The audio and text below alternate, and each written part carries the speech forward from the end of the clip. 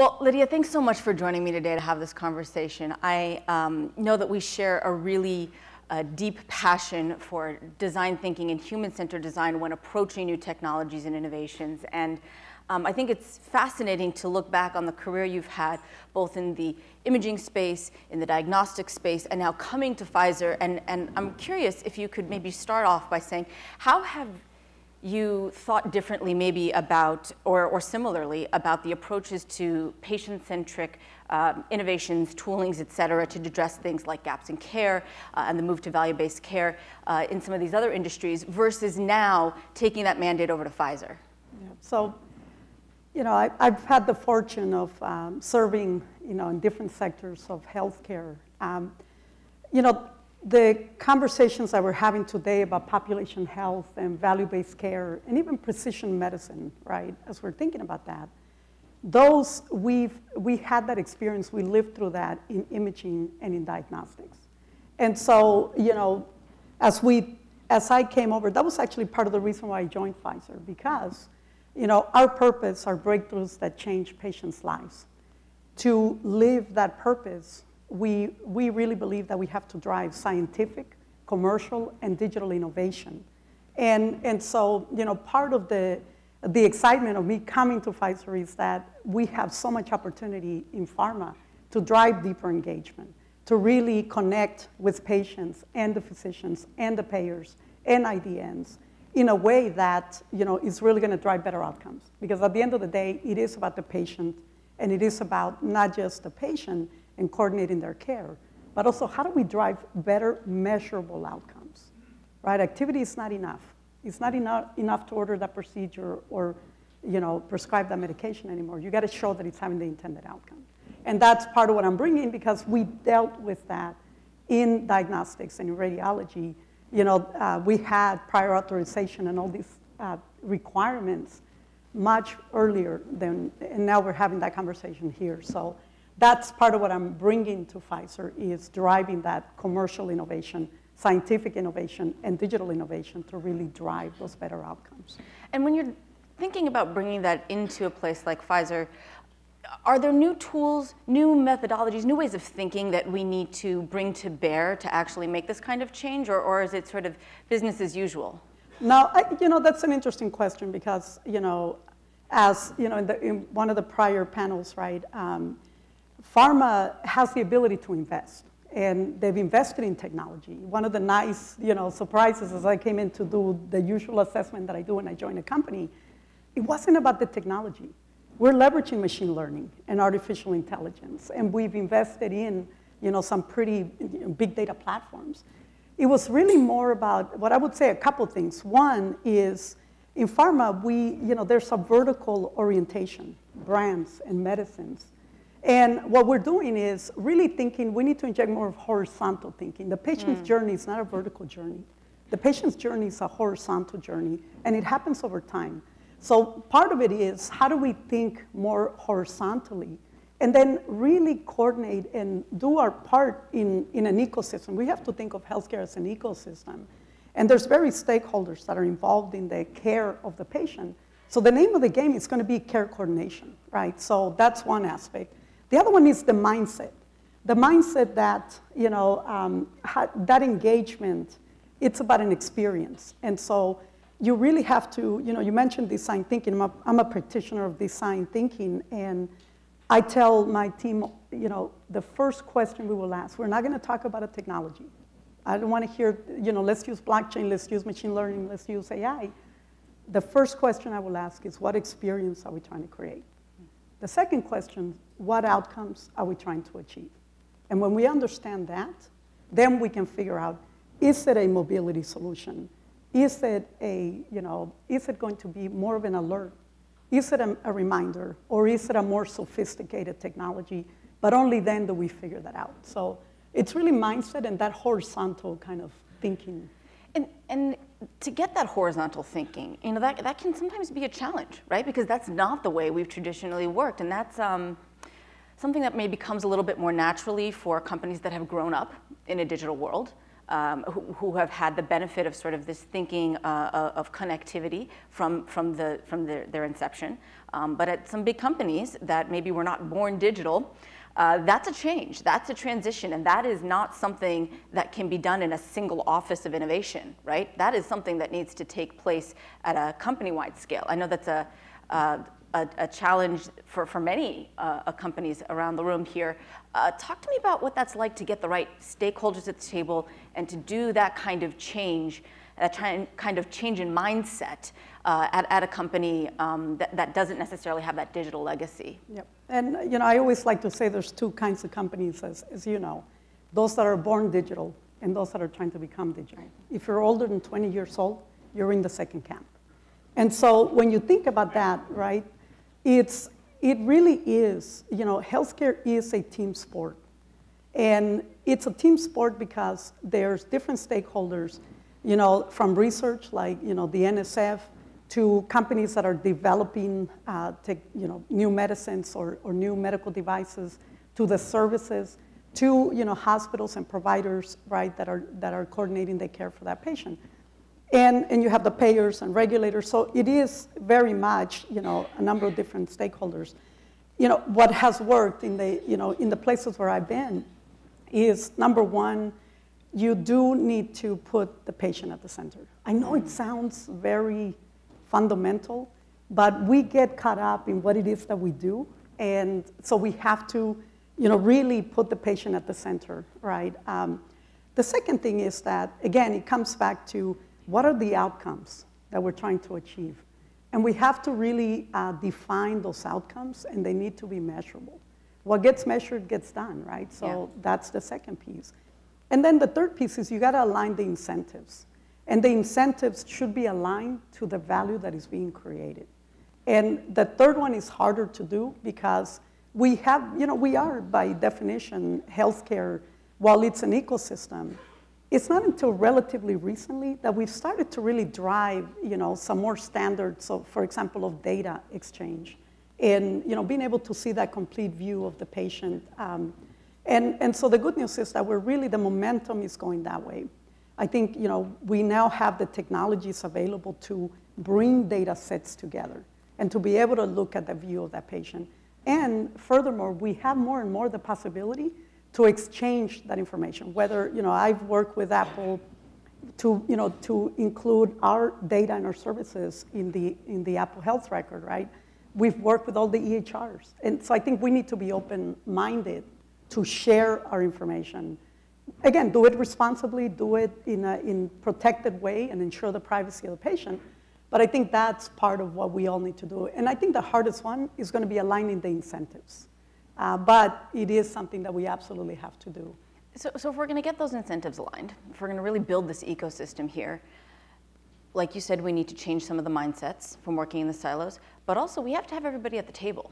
Do we have all the right players at the table today to make this kind of a change to truly be an ecosystem? More and more. I'm seeing it happen more and more. You know, um, for example, you know, if I look at Pfizer, um, we are working you're seeing in pharma a couple of groups, just as an example, right? Like Transcelerate, where we are coming together across all the different pharma companies and saying, what are the opportunities for us to drive standards in clinical trials, for example, and, and the way that you know, the, we do the filings, because you know, it's going to be the same requirements that the FDA has or you know, the European authorities have or Japan has. So can we come together and drive those standards and commit to those standards. So I am seeing more. I do think the right people are at the table. I think from a, from a mindset perspective is seeing ourselves as partners rather than adversaries. I think it's also part of you know, what I'm seeing changing.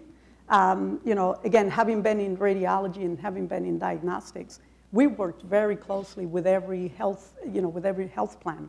We worked very closely with IDNs and so, and I'm seeing that more and more in the pharma, and I think it's, that's going to be part of the, of the conversation. And, it's, and it really is, you know, government, it's going to be, you know, the, the industry, it's going to be, you know, technology companies and innovators that can help us tie it together. Um, so I, I, do, I am seeing more and more that we're working together, and that's really encouraging. I've seen that movie before in other, in other sectors of healthcare, and it has worked really well. So I'm excited about that. I'm glad to see the movie continuing to play out in other sectors there. I think, uh, you know, one of the things that I really wanted to, to get your take on, because I know we're both uh, technology fans at heart, uh, is to think about these new technologies and how you bring them into a sector like healthcare, where sometimes the technology, if we're going to be honest with ourselves, really got in the way and interrupted what should have been uh, a moment of empathetic care between two people. It put a screen in between that connection between that provider and that, uh, and that person who is sick. Um, and I think in every other industry, we've seen technology experiences that have been magical and, and transformative. Uh, and yet, oftentimes, um, we, we've missed the mark in healthcare to really fulfill that digital promise. So, I'm wondering if you could talk to me a little bit about how you approach a challenge like bringing a new piece of technology into a patient interaction in a way that still privileges that um, human connection and supports, but doesn't get in the way. Yeah. Uh, you know, so one of the, um, so we're very focused on the experience and, you know, certainly creating a Pfizer experience for our patients. You know, we touch hundreds of millions of people around the world every year. And the, what I call the engagement um, varies depending on you know, where they are in their experience and in their life cycle and, and in their condition.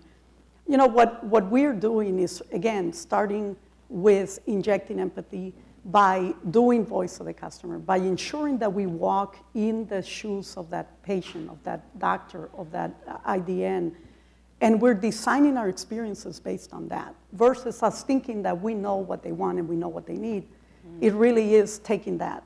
Um, the other thing that we're doing is, um, so for example, you know, we, we're piloting right now, you know, one of my visions for us is I want to have a digital companion with every one of our medicines.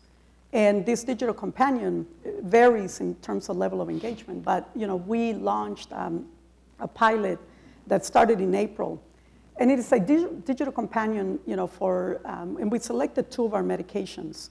And it's, um, you know, when that patient goes to get their medications at the pharmacy, they get this digital companion, which is a robot, and the robot has uh, a, um, a tablet, and it's been all connected so that the engagement, the data, the conversations are all integrated. And, and so the patient goes home, and this is a digital companion that goes home with them. And you know what's been really illuminating, because we started this in the middle of April, what's been really illuminating is that we can see what's happening with that patient day in and day out, the conversations that they're having with the robot. Did they take their medication? Did they, um, how are they feeling? We do sentiment analysis. It's all, it's AI driven and all of this is, is integrated and very well, eh, very connected. And then, you know, what's nice about it is that in real time, as the patient is experiencing this day in and day out, a couple of things are happening. One, so for example, if the patient, we had, you know, uh, several of the patients didn't take their medication. The pharmacy reaches out to them and says, why didn't you take your medication? In one case, it was they had run out of medicine. So the pharmacy was able to immediately, you know, um, send the medication and the patient had their medication that afternoon. In another instance, the patient hadn't taken their medication you know, the, the pharmacy calls and says, hey, why didn't you take your medication? And the patient says, well, you know, it made me feel, you know, I, it didn't make me feel better, it made me feel worse. So then the physician calls the patient and has a conversation and says, hey, look, we know that this made you feel, th- this happens, it's common in the first doses. This is, you know, new treatment, it's, you know, it's a, it's a new therapy for this patient. So take a couple more doses, you will feel better. So the patient, you know, takes, continues, and starts to feel better, you know, over the next couple days.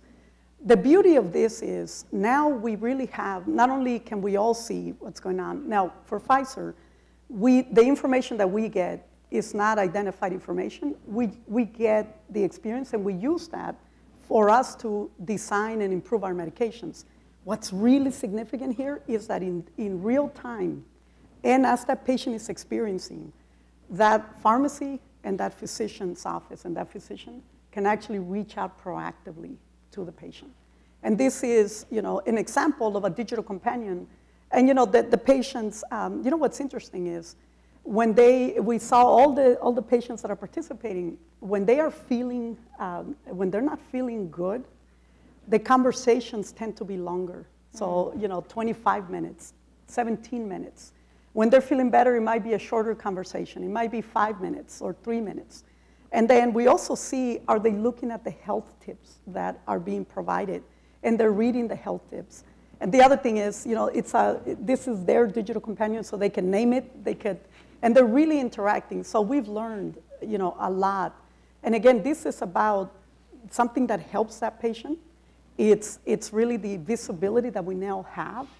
And this is a pilot, and we're very encouraged by what we're seeing because to me, this is the definition of personalized care. And this is the definition of us being coordinated and having visibility to what's happening to that patient so that we can take proactive steps, um, you know, particularly to ensure that we coordinate the care of that patient. So that's an example of how we're introducing technology, um, but again, it has to really be um, with the patient's care and, and their experience, you know, at the center of this.